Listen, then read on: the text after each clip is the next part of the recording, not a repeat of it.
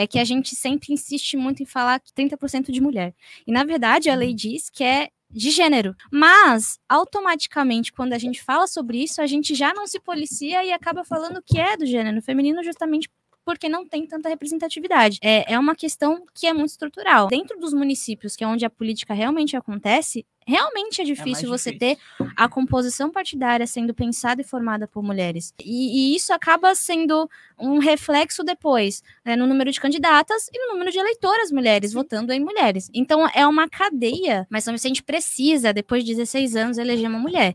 E quando a gente conseguir fazer isso, eu tenho certeza que vai ser esse ano, aí sim Amém. você vai ver as estruturas sendo mudadas. E tudo isso vai culminar num lugar que tenha mais mulheres fortes planejando estratégia política. Hoje eu me considero uma pessoa que é forte nesse sentido. Eu entendo como funciona, não foi da noite para o dia, como eu falei, desde os meus 21 anos eu tô dentro e, e demorei muito para aprender mais como funciona, mas é, não é uma exclusividade. Então eu sou uma pré-candidata, eu sou uma pessoa que entende de montagem de chapa, eu entendo a leitura do cenário político de São Vicente e isso está mudando, não é exclusividade da Giovana. E é isso que a gente tem que colocar na cabeça. Eleger mulher esse ano em São Vicente é extremamente fundamental, importante e prescindível.